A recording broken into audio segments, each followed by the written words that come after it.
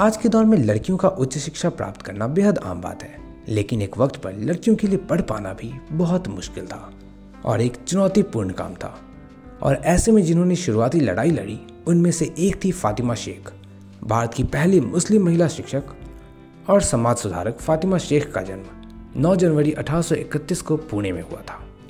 फातिमा शेख एक भारतीय महिला शिक्षिका थी, जो सावित्रीबाई फुले की सहयोगी भी थी। सावित्रीबाई फुले और फातिमा शेख ने साथ मिलकर दलित, मुस्लिम महिलाओं और बच्चों के उन समुदायों को शिक्षित करने का प्रयास किया, जिन्हें वर्ग, धर्म या लिंग के आधार पर शिक्षा से वंचित कर दिया जाता था। इस योगदान के लिए फातिमा शेख को आधुनिक भारत की पहली मुस्लिम महिला शिक्षिका भी कहा जाने लगा। फातिमा शेख की मुलाकात सावित्रीबाई फुले से एक अमेरिकी मिशनरी सिंथिया फर्रार द्वारा संचालित एक शिक्षक प्रशिक्षण संस्थान में हुई। उन्होंने अठारह सौ इक्यावन में बॉम्बे में दो स्कूलों की स्थापना में भाग लिया।